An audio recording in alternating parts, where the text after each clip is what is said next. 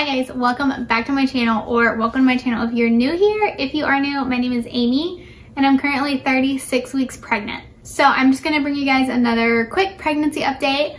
I was going to have one up earlier this week for y'all, but I just went to the doctor today, so I thought I would wait and film the pregnancy update after I went to my doctor. And then I'm gonna try to get it up for you this afternoon. But I will just start off with my last two doctor visits. I went to the doctor around 34 and a half weeks, which was like which was actually like mid last week. And then I went again today, which is today is Friday. So there was only like a week and a half in between my doctor's appointments. Both of them were pretty like quick and simple. I just talked to my doctor.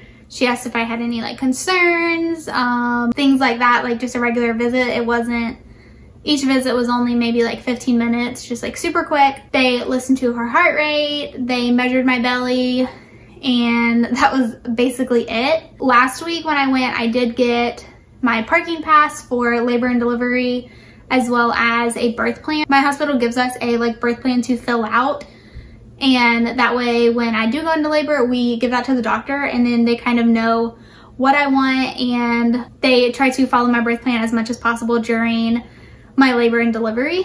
So they gave that to me last week. I filled it out and it is in my hospital bag ready to go. But as you guys know, she has dropped. So she is super low and just getting ready for labor. My belly measured at 35 weeks both times. So at 34 and a half weeks and my 36 week appointment, my belly measured at 35 weeks. So it hasn't really grown much. Um, they said that was like normal though because she's already so low that it probably won't be growing as much.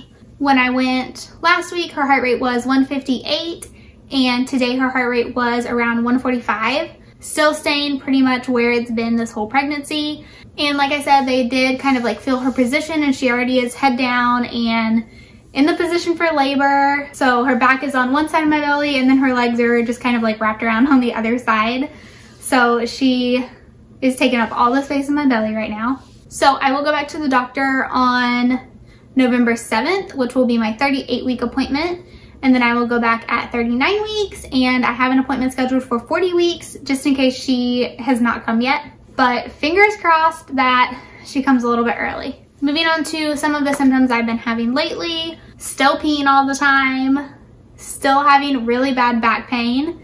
And my feet have started hurting a lot because just like going to the store and walking around the grocery store, my feet will hurt so bad. As you guys know, I was unable to sleep for a while and then I started sleeping better. And then now I am not sleeping well again.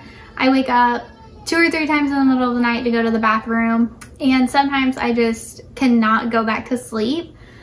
I will just like lay there and just think about all kinds of random things and and yeah so that is no fun not being able to sleep but thankfully my toddler is sleeping really well at night and sleeping in in the morning so that helps a ton being able to sleep in until about 8 o'clock I haven't been quite as tired during the day I do get really tired but I've kind of stopped napping in the middle of the day, at least for the past like week. I haven't been taking naps. I've just kind of been like doing things during my son's nap time instead.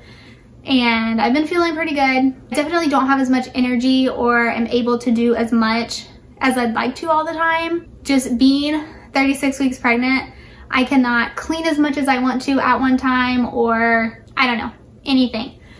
I can just cannot do as much as I'd like to all the time because I just get really worn out and I just have to stop and just drink a bunch of water and relax because my body is just telling me that I just need to take it a little bit easier. So I've been trying to do that. But on the other hand, I've been nesting a lot. I have a list of things I want to get done before she's here.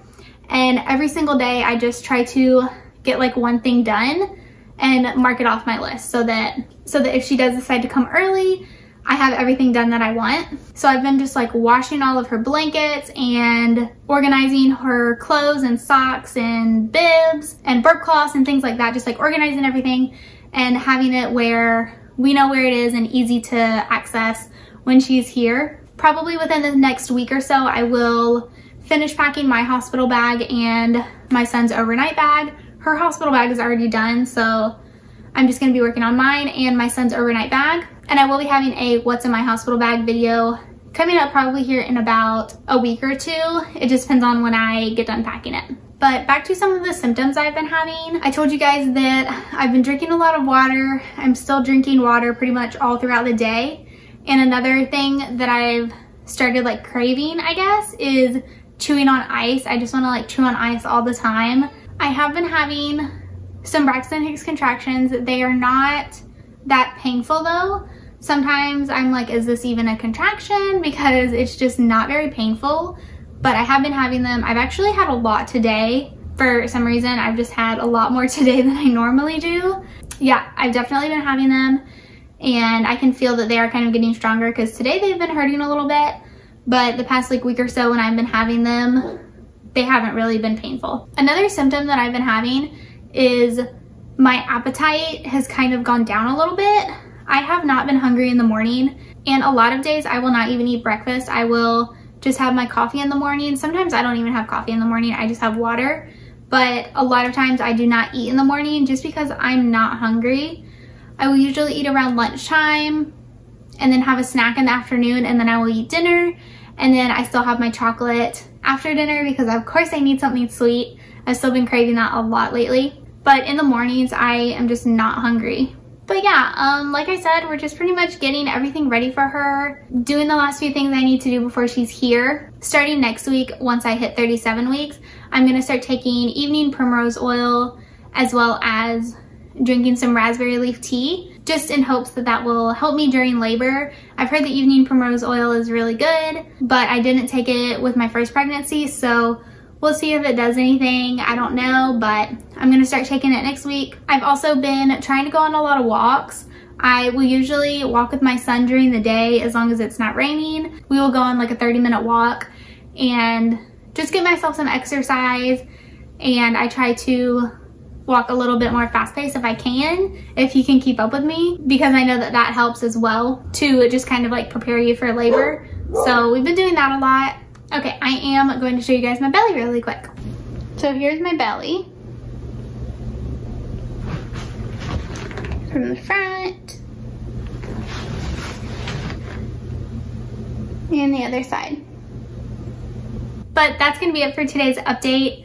Nothing really new. Baby girl and I are doing really well. For the most part, this has been a really good pregnancy. It's, it's been a lot easier than my first pregnancy, so I'm really, really lucky. But thank you guys so much for watching today's update. I hope you enjoyed it. If you have any video recommendations that are pregnancy related that you'd like me to do before I am no longer pregnant, then leave it down in the comments below. Don't forget to subscribe if you are not already. Make sure you give this video a thumbs up, and I'll see you guys very soon in my next video.